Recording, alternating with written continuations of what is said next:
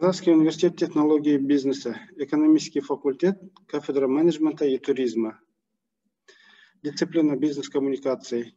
Тема 11.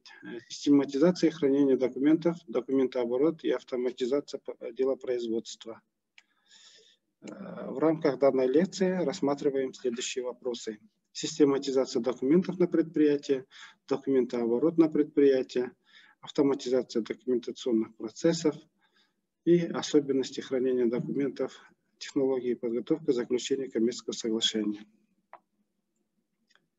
Организация и систематизация документа оборота, документа оборота на предприятии. Понятие документа оборот, движение документов в организации с момента их создания и получения до завершения исполнения или отправки. Термин документооборот появился в литературе в 1920-е годы а, в работах таких крупных специалистов в области управленческого труда и делопроизводства, как э, Дрезин, э, Майзерс, Покровский, э, Керженцев, сформулированы основные положения его а, организации – которые в то время э, связывались с рациональным построением структуры государственного аппарата, с четким распределением функций между различными службами и исполнителями. Организация документооборота на предприятии э, это э, правило, в соответствии с которым происходит движение документов в учреждении. Организация документа оборота предусматривает рациональное движение документов включающие как операции с документами, так и все их перемещения. Документы, поступающие в организацию, проходят первичную обработку, предварительное рассмотрение, регистрацию, рассмотрение руководства, э, передачу на исполнение. Виды документа оборота выделяют три основных типа документов, составляющих централизованный документооборот. Это входящий, исходящий, внутренний Входящий документ – это документ, поступивший в учреждение. Большинство входящих документов должны э, порождать соответствующие э, исходящие установленные сроки. Сроки могут быть установлены нормативными актами, предписывающими э, то или иное время ответа на соответствующий входящий документ, или могут быть э, указаны непосредственно в входящем документе письма граждан, э, служебная корреспонденция, директивные документы вышестоящих организаций. Исходящий документ – это официальный документ, отправляемый из учреждения. Большинство исходящих документов является ответом организации на входящие документы.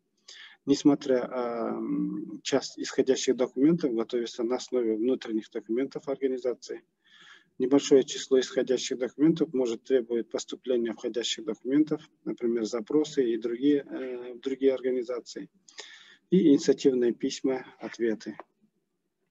Внутренний документ, э, официальный документ, не входящий за пределы э, подготовившей его организации.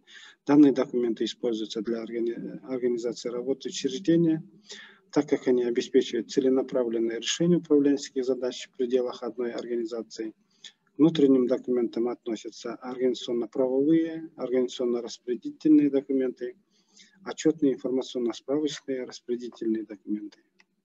Сроки исполнения документов срок установлен нормативно-правовым актом, организационно-распределительным документом с пометкой «срочно», незамедлительно 3 дня, с пометкой «оперативно» 10 дней. Если срок хранения не указан, значит 30 э, дней по направлению движения горизонтальные, связывает структурные подразделения одного уровня управления, и вертикальные, это э, восходящие и э, нисходящие, э, связывают структурные подразделения различных уровней.